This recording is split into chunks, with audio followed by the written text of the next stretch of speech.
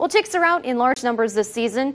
The amount of tick-borne diseases have more than doubled in the last decade, one being Lyme disease. Melissa Hilcom lives in Kilgore. Her son was recently diagnosed with Lyme disease after being bitten by ticks. The four-year-old was prescribed antibiotics, and his doctors told Hilcom the next few days are crucial in his recovery.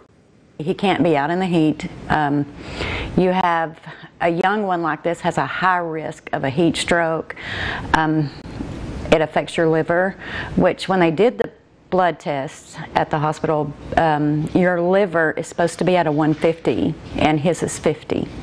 Not all species of ticks carry Lyme disease. Warm weather helps them to breed and transmit disease much faster. So before doing outdoor activities, cover up, use insect repellent, and be sure to do a full body check for ticks afterwards. As here's a few extra tips to avoid getting rid, avoid and get rid of ticks. Use repellent that contains 20% or more DEET. Keep arms and legs covered while outdoors.